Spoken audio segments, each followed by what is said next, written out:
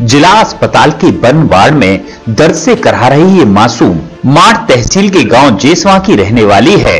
दो वर्षीय ये मासूम अपने घर के आँगन में माँ के साथ खेल रही थी और इस मासूम की माँ वहाँ खाना पका रही थी। माँ का बच्ची पर से ध्यान हट गया।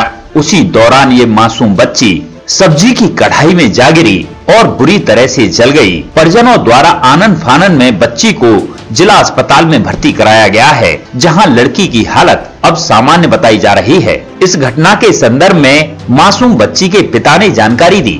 जल गई जाली। कैसे? सब्ज़ी में गिर गई। तो कढ़ाई में गिरी कढ़ाई में कढ़ाई में गिर के सब कैसे पूरा मामला बता क्या हुआ?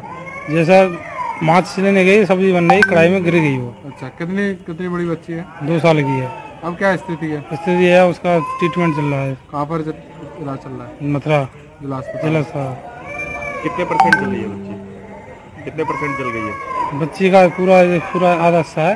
कैसी स्थिति है अभी? स्थिति ठीक अब ज़्यादा सही चल रही है ठीक है। डॉक्टर बोल रहा कि कोई बात नहीं हो जाएगा सही। कहाँ के रहने वाले हैं गाँव जैसे।